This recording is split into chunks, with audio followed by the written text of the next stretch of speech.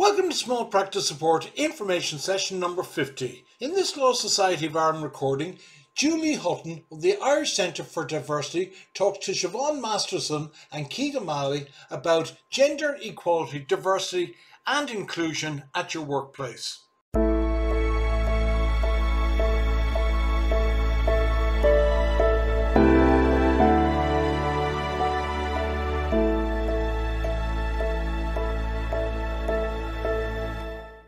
Welcome everybody to uh, this latest version of Small Practice Information uh, session. I'm going to hand over to Siobhan now. Uh, and so, Siobhan, thank you. Hi. Hello, everyone, and welcome. Thanks for joining us today. So, we have Julie Hutton, the Head of Operations at the Irish Centre for Diversity. She is going to talk to us today about um, our new Law Society Gender Equality, Diversity, Inclusion Policy. Um, so the policy has been established because of a recommendation from the Law Society's Gender Equality, Diversity and Inclusion Task Force. And um, the Irish Centre for Diversity has developed this um, and we've worked alongside them to adapt some of the language so it suits the solicitor's profession. Um, before Julie goes into the presentation um, to discuss how solicitors, workplaces can adopt this policy and use it in practice um, and the benefits of it, um, I'll just give you a bit of background on the Irish Centre for Diversity. Um, so they work in partnership with organisations of all sizes across Ireland to help them embed equality, diversity and inclusion, EDI, which Julie might mention a bit later, in all that they do. And um, their services include the highly prestigious Investors in Diversity Accreditation, which is Ireland's only all-encompassing diversity and inclusion mark, offering a holistic approach to improving equality and diversity across all grounds. Um, so Julie is now going to go through our new diversity and inclusion policy, which you'll be able to find on the Law Society website on our diversity and inclusion page. So that's www.lawsociety.ie forward slash GEDI. You'll find it there later on. So Julie, off to you. Uh, hi, Siobhan. Thank you for that introduction and thank you, Keith, for the welcome. I'm just going to share my screen here. Um, so a pre-prepared um, presentation to just take us through the um, the thoughts around the policy around the gender equality, diversity and inclusion policy, um, as Siobhan's just mentioned. So um, as uh, already said, I'm, apologies, just technical hitch there. Um, I'm Julie Hutton. I'm the head of operations with the Irish Centre for Diversity, and we um, have a team of um, head office staff and a team also of advisors that can support organisations of all sizes in their EDI journey. This presentation and the um, the policy itself were prepared for the Law Society of Ireland. So we thank them for the opportunity to work with you. Um, we're going to talk about, first of all, the importance of an effective diversity and inclusion policy. Um, it's one thing to have a policy in place. It's quite a different thing for it to actually be meaningful within a business. As a previously uh, previous quality assurance um, manager, I know policies can just sit on a shelf um, and just be a tick box. The idea of diversity and inclusion policy is that it should be around setting and reflecting the tone of the organisation, the culture that they want to have in place, a welcoming, diverse, inclusive and, and equal organisation to work with. Um, so the policy should set and reflect that tone, of aspirational tone. It should also be clear that the organisation is making a commitment to diversity and inclusion. So the content of the policy should reflect that that organisation's commitment, but equally it also should reference the legislation that sits around equality, diversity, inclusion. So there are two pieces of legislation, and these are referenced in the policy that um, is being shared by the Law Society. There's the Equal Status Acts and the Equal Employment Acts. Um, I'm not putting the dates of those in there because um, that they are obviously always being amended. Uh, the policy itself references the current version of those acts, but obviously those would always be revised and reviewed regularly to ensure that they reflect current legislation as that changes. And for these reasons, having a diversity and inclusion policy is an essential and mandatory requirement of the Irish Centre for Diversity's Investors in Diversity framework that Siobhan mentioned in the introduction. You cannot achieve our award without actually, as a minimum, having a diversity and inclusion policy in place. So that's the importance that the Irish Centre for Diversity places on the policy. It should be, um, in order to be effective, should be a reflection of the commitment of your firm. Um, and it should be then, can then be used as an opportunity to provide an internal and external message about a commitment around diversity and inclusion. It's a, around giving you a framework, a route map, so that you're very clear on the direction of travel that your firm intends to take around diversity inclusion. Um, and it's um, important that the actual document itself reflects your current practice. And we're going to be talking about bespoking the policy that the Law Society has in place um, to make it fit for your individual organisation, your individual firm.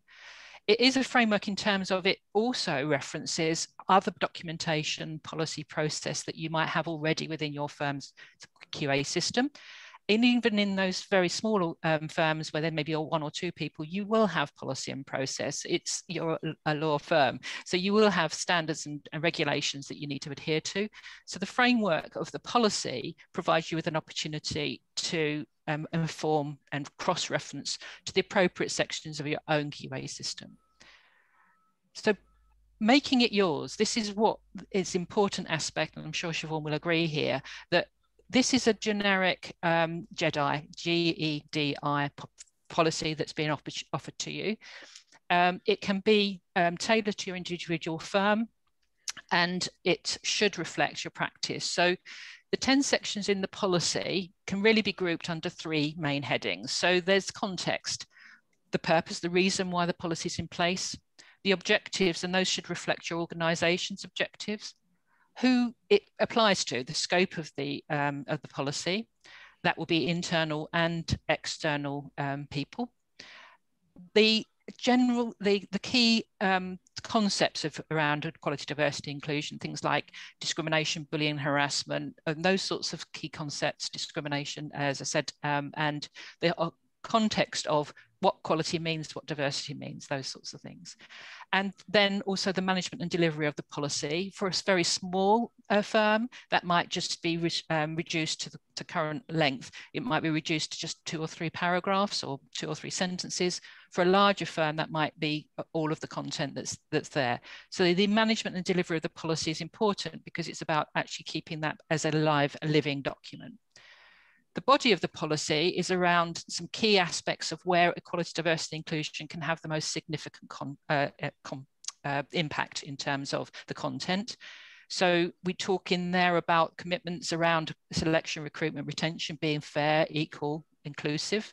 We talk about service delivery, so outward facing in terms of the commitments around delivering a, a equal, fair, diverse, inclusive um, service to your clients and the procurement section around engaging with external organizations um, to deliver products on behalf of your, you or actually providing services or products to you as a firm.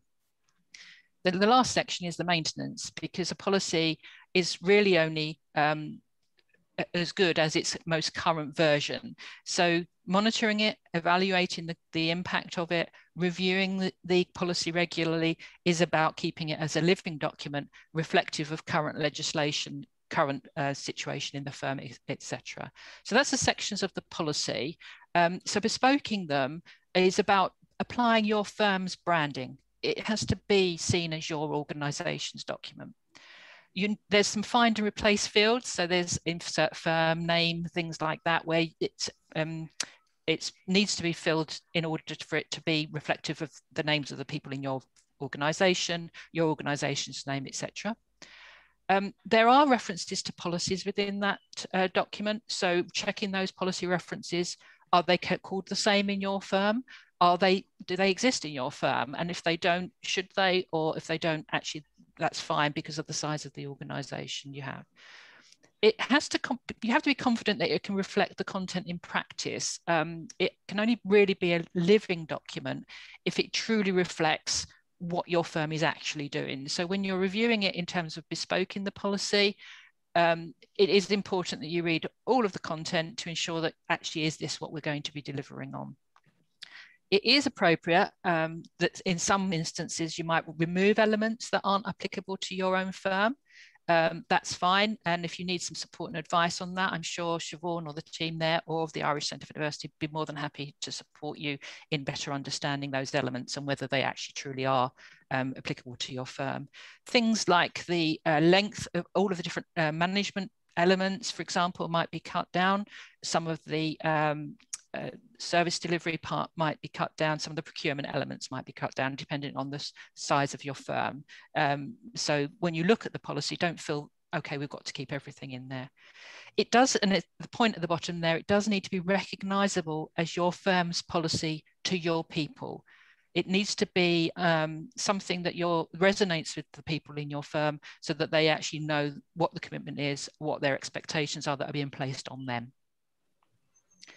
So taking it then from uh, a, a, policy to a lived experience, a lived document, um, we're talking here about consulting with staff on the content of the policy, um, looking at whether all of those sections are relevant, looking at um, do they apply to the staff, uh, the team in your organisation.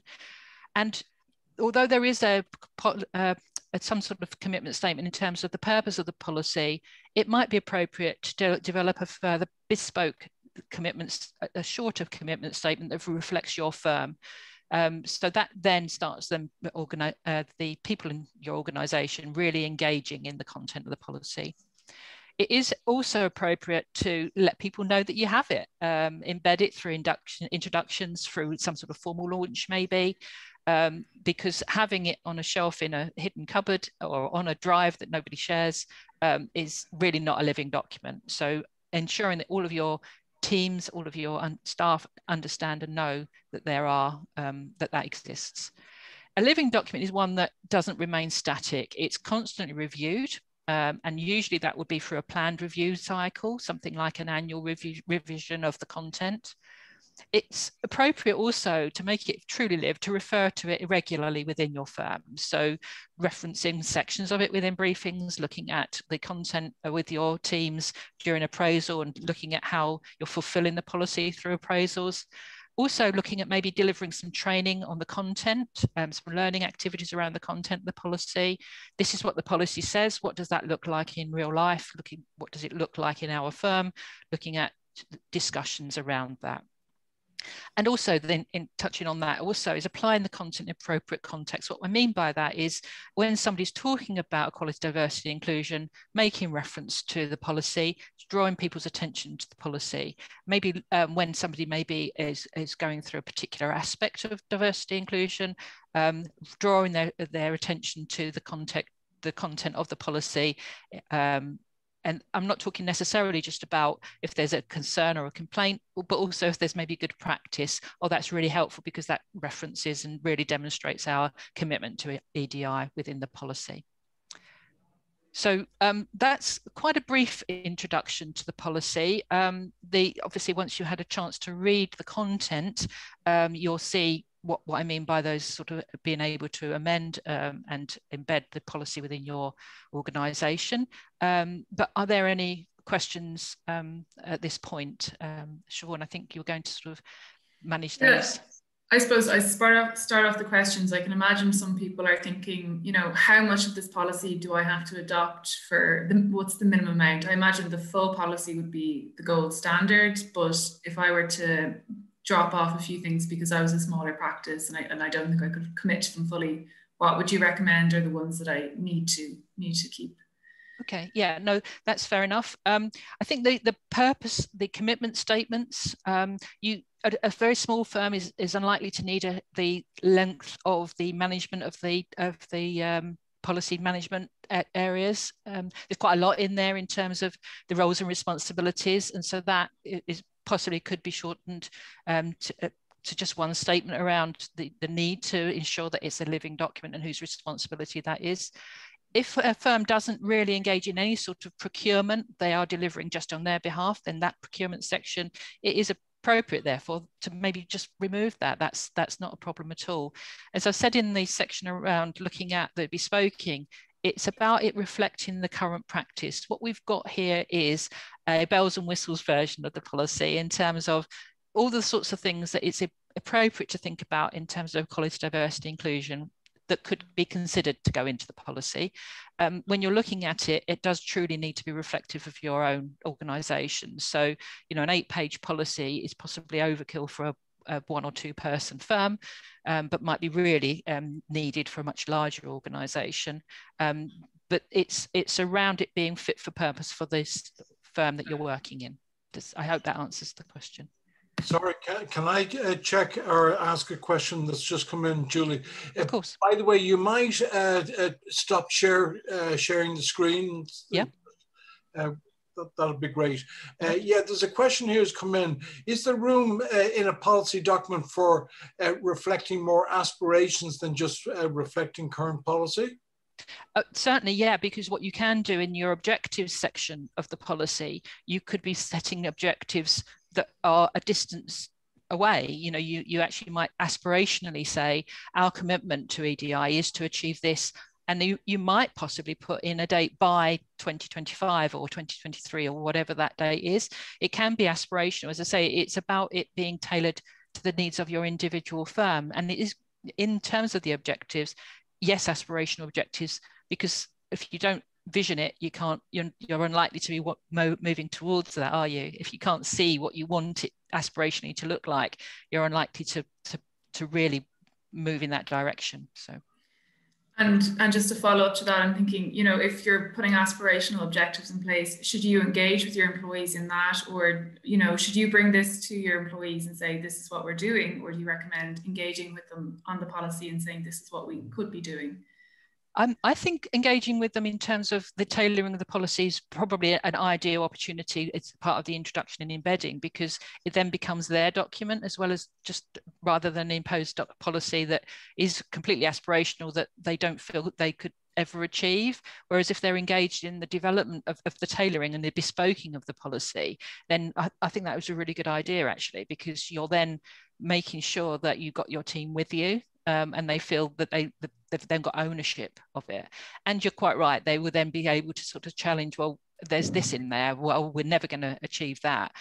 Uh, but then there might be a discussion around. Well, we want to achieve that. What? How can we go about? You know, what resources can we put in place to achieve that? Is there more training needed, or something like that? So that opens the opportunity for discussion um, in terms of you know additional resources.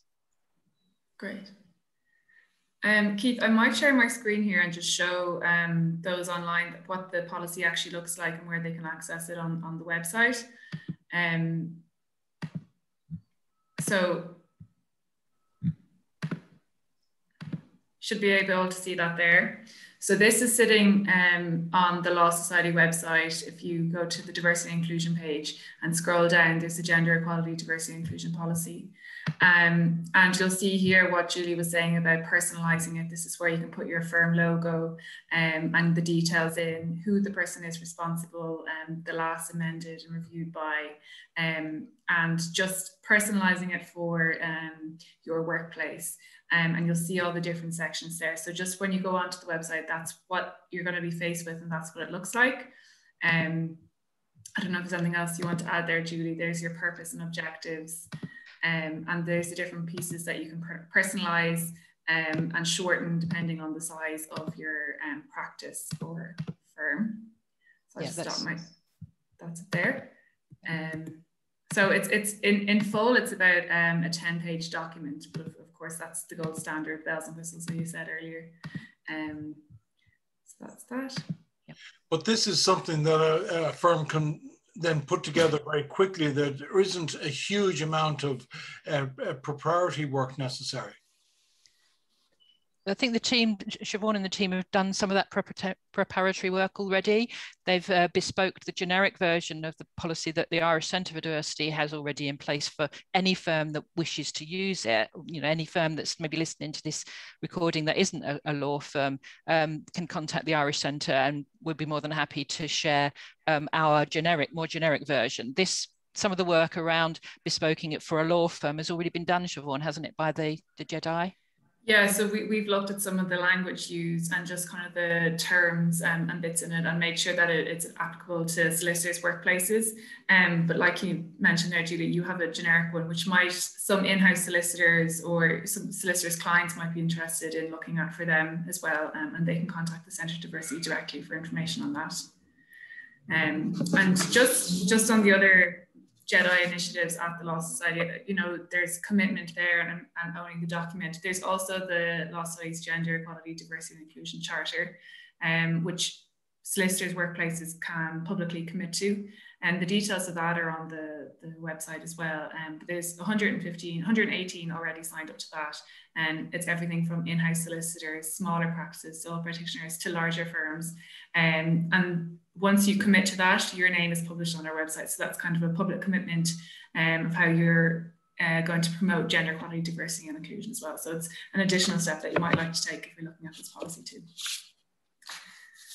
So could I just also just quickly say that the title of the policy is Gender Equality, Diversity, Inclusion, because obviously that's the uh, framework within which the Law Society is moving. The policy itself is equally applicable, and you'll have just seen a, a, a a little snapshot there as, as Siobhan was sharing the policy, that it does reference all of the nine grounds. So the policy itself, actually the content of the policy, although it's called Gender Equality, Diversity, Inclusion Policy, is applicable to all of the other nine grounds as well. Um, so when a firm is making a commitment to equality, diversity, inclusion, gender tends to be the most obvious one because it's the one that's been traditionally the one that's uh, is forefront of people's minds and it's historically been the struggle, I guess, in terms of the you know balance of, of workforce. But the actual policy itself, the content of the policy is equally applicable to any of the nine grounds. Can I ask you, Julie, a question just about the impact internally within a firm? You know, if a firm decides to uh, uh, to adopt uh, a policy like this and then goes through the process of uh, documenting it and getting agreement, you know, in a firm maybe that uh, employs four, five, six people, how is that likely to impact I think the biggest impact is opening the, the conversation um, when you're when you're adopting a policy such as this. Uh, if you, as Siobhan was suggesting, engaging staff in bespoking that to your own individual organisation, the biggest impact that we've found in the Irish Centre is opening that conversation around. Um, you know, we've always worked this way. You know, what are the benefits of having a more diverse and equal and, and, inclusive workforce. What those sorts of conversations are, um, can off, is probably the biggest um, impact on the, those conversations um, to to open out the discussion. Um, and I think that having a document like a policy, especially when it's a live doc policy, gives people an opportunity to have those in a, in a structured way rather than a sort of um, opening a conversation that has nowhere to go. An organisation that's introducing a policy is showing to its staff it's got a commitment to this, and then staff feel more able to ask those challenging questions um, and and say, well, the policy says this. How are we going to do that as an organisation? And then the firm can then say, well, we want, want you to work with us on that. So it becomes a two-way conversation, communication. And presumably, uh, quite often, uh, you know, individual staff members will will get quite a sense of security out of this. Uh, you know, if if the firm is making a commitment in terms of diversity and uh, a, a, person, you know, is uh, feels in some way marginalized in some aspect of their life, uh, th this has to be a, a supportive uh, framework. It definitely, yeah, I would say definitely, and and that's why we've included a, a number of the commitment statements that we have in the recruit, recruitment selection and retention section we will do this. We will not do that. We will um, support you regardless of your difference. We, we will not dis discriminate against you um, based on any of the nine grounds. So it's clear and, tra and transparent commitment statements that the firm is making by adopting the policy. So yeah i would hope then that and through the conversations as well the two-way conversations would reassure staff. Um, yeah i think that that bottom line that is definitely true yeah. Great. Siobhan? Yeah, I think that's it for me. Um, just a reminder again that the policy and all the initiatives of, of the Law Society are doing in, in, on gender equality, diversity and inclusion are available on the website um, www.lawsociety.ie forward slash GEDI, so G-E-D-I. Um, and you can sign up to the charter there and access the policy and download it. Um, and look, if you have follow-up questions, you can send them on to myself or Julie as well. Yeah. So and the Irish Centre for Diversity is there to support whoever wants the support. So if you do feel that you want some help with the, um, the policy, looking at the generic policy, any questions around diversity inclusion, um, more than happy um, to take those. So irishcentrefordiversity.ie is our website. That's great. Thank you. Great. Siobhan, I'm sure you want to say thanks to Julie. Yeah, thanks, Julie. Um, we really appreciate uh, you coming on today to talk about it. And um, this this video will be up on on our uh, diversity and inclusion webpage as well. So um, if anyone wants to watch back or listen back to anything that was said, we can we'll have it up there and available. Thanks for the opportunity. Been brilliant speaking with you both.